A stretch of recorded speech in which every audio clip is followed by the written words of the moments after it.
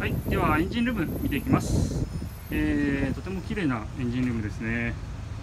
ノーマルです。こんな感じで。でヘッドカバーのハゲがないんですよね。これ非常に珍しいです。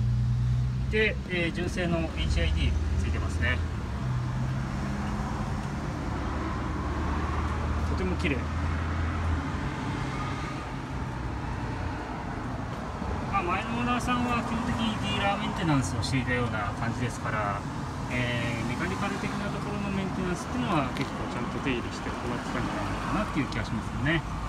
どうしてもね外装は黄色なんで色あせとか進んでしまいますけど内装の状態見てもエンジンルームの状態見ても、えーとても綺麗な感じでメンテナンスされてたんだなっていうのが見受けられます。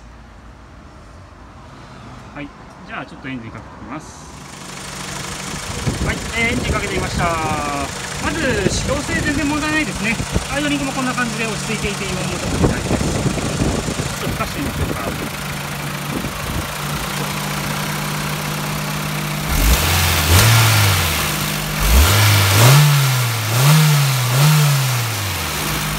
まあ吹き上がりなんかも全然スムーズで引っかかりなんかも特にないですね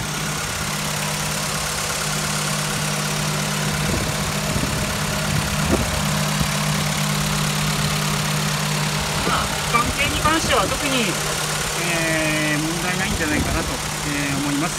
えー、得意などのですね、えーメンテナンスしながら、えー長く乗っていただけたらいいんじゃないかなと、えーそんな一例ですね。以上、エンジンルームでした。